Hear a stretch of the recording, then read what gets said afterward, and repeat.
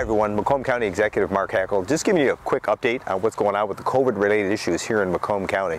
You know, if you think about where we started, the incredible surge and the issues we had to try to figure out how do we deal with this from the onset, whether it was PPEs, hospitals, uh, getting people in place with our health department to try to figure out how do we do it with contact tracing and even testing. So how far we've come in over three and a half months has been pretty, uh, pretty remarkable. And uh, with that being said, we've had the support of our legislative branch, the Board of Commissioners, to continue what we call as our state of emergency here in the county. But a state of emergency is to get control of the, the issue, if you will, and uh, we've been able to do that. Uh, whether it's uh, working internally with our planning department, emergency management, uh, the folks that are dealing with our IT services, um, you know, trying to make sure that we have everything in place, we've been able to do that. And our health department's done a great job of dealing with the testing, whether it's out uh, in the community, internally within our organization, or even some of the congregative care areas. So we've been trying to figure out how do we continue to work with this even without a state of emergency. And a state of emergency basically is just to try to figure out how you bypass the legislative branch.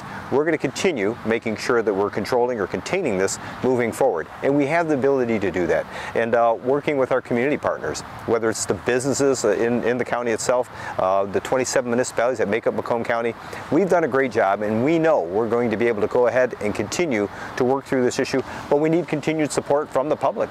And the public has to weigh in on this by making sure they're following recommended CDC CDC guidelines, whether it's wearing masks, keeping that distance, physical distance from other people, washing your hands, because we don't want to see a, a, resurgence, if you will. We know there probably will be. There still continues to be this community spread, uh, but we're going to be able to work through that. Nothing will be like it was at the onset. We're going to be able to manage through this, and I think we're one of the first counties that have been able to do that, and proudly so. So I say that because on behalf of the staff in Macomb County, well, I tell you what, I couldn't be more proud of a county and try to figure out how do we get ahead of this and uh, making sure it's not going to be eliminated, not until we have some type of a cure. Uh, when we see that happen, then there'll be a lot more direction that will be given. But in the meantime, we need your support to continue through this.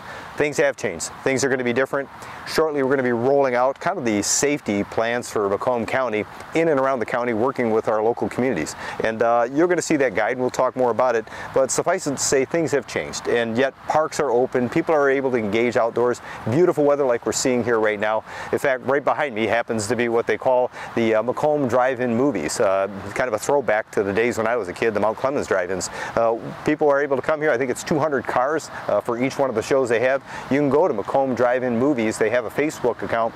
They'll show you the movies that are going to be played. And uh, for $20 a car, again, $20 a car load, so you don't have to worry about people getting in the trunk, you can have people come to this movie and kind of enjoy the day. So go to Macomb, uh, if you will, Macomb movie theaters or movie drive-in movies outdoors. You're going to be able to see that, uh, what they have as far as the movies that they're going to display and uh, enjoy that with your family. So there's a lot going on in the county. We're going to give you more updates as time goes on about the things happening in and around the county uh, as we continue. So again, for myself as well as our staff here in Macomb County, want to continue uh, to thank you for your support and being a part of the solution, but more importantly, continue to keep you and your family safe.